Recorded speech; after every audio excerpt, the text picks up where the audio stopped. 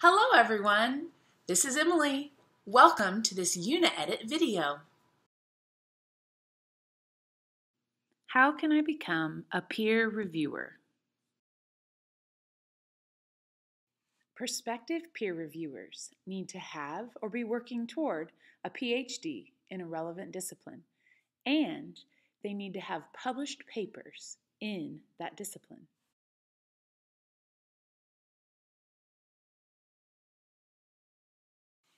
Peer reviewers can be requested by editors who they have previously published work for, recommended by professors or department supervisors, discovered based on the information provided when setting up their account profile on the website, or found through internet searches for authors of specific topics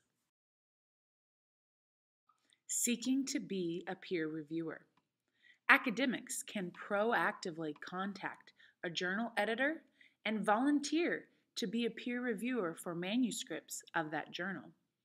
Oftentimes, this means that the peer reviewer will be added to a database of potential candidates to become peer reviewers. I have searched and found information directly off the website of a journal so I'm going to look at that with you today.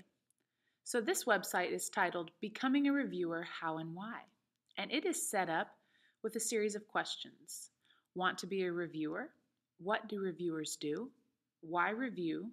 Recognizing reviewers, and feedback for the program.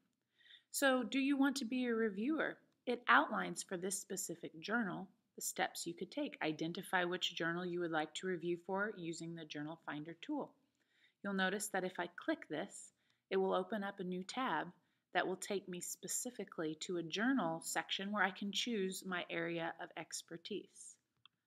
This link is especially helpful. I can visit that journal's homepage and view the full editorial board and contact the relevant editor. So what do reviewers do and why? This is a follow-up to the UniEdit video that we're working on.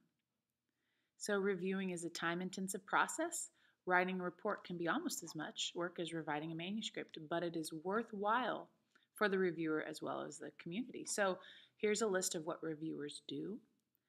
Here are why you should become a reviewer. These are the benefits to review. And this is recognizing reviewers. So this says reviewers are important to us.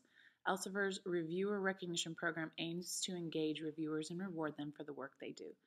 The program features several projects and experiments. So it looks like there are some free memberships, cross-reviewing, um, as well as a reviewer recognition platform that allows reviewers to receive some benefits from their work. And lastly, we see the reviewer feedback program.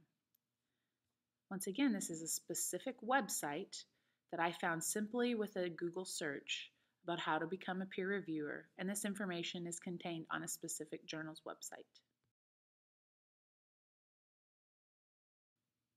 Hopeful peer reviewers need the right credentials, the right contacts, or even better, both. Once again, this is Emily from UniEdit. Have a wonderful day.